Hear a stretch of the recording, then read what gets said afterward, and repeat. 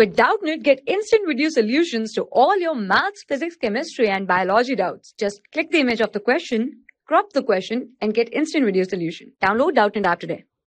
Hello everyone, our question is in the question we have CH3C triple bond CH that is a propyne. It react with Br2 in presence of CCl4 gives product A and here we have to find out the product A. This is the CCl4.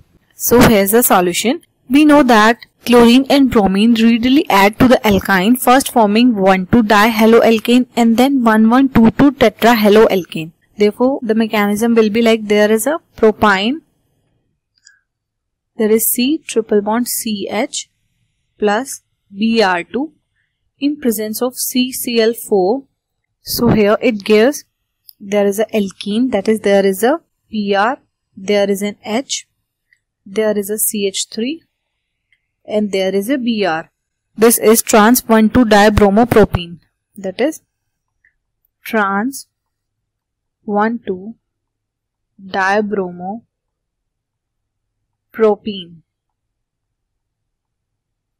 Now this alkene will further react with Br2 in presence of CCl4 and from here we will get there is a carbon, there is a carbon, there is a bromine, there is a bromine, there is an H, there is a bromine, there is a bromine and there is an CH3 group.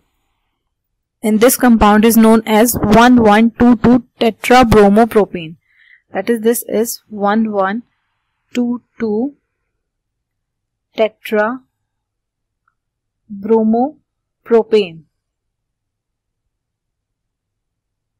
and during this reaction the reddish brown color of Br2 is decolorized. Therefore we can say that during this reaction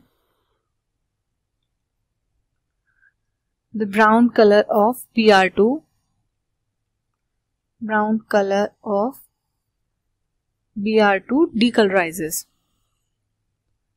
decolorizes and hence this reaction is used as a test for unsaturation. Therefore this reaction is used as a test for unsaturation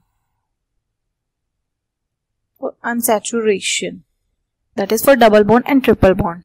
So here in the question we have asked about the final product and here on reaction of propyne with Br2 first we will get the trans 1,2 dibromopropane and this alkene will further undergo reaction with presence of Br2 and CCl4 and ultimately we will get 1122 tetrabromopropane. So this is our answer. Thank you. For class 6 to 12, IIT JEE and NEET level. Trusted by more than 5 crore students. Download Doubtnut app today.